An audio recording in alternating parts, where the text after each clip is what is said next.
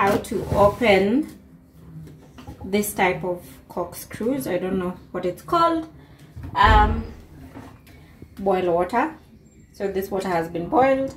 All you have to do is keep on pouring the hot water onto the yellow container um, making sure it expands. So um, be careful as you pour as close as possible to the bottle um, uh, the water has boiled so it's really hot. Um, and then just pour it in like that. And then now try opening it after it expands.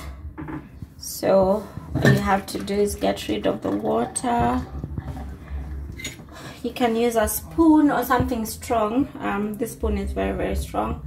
And then just start turning anti-clockwise until it opens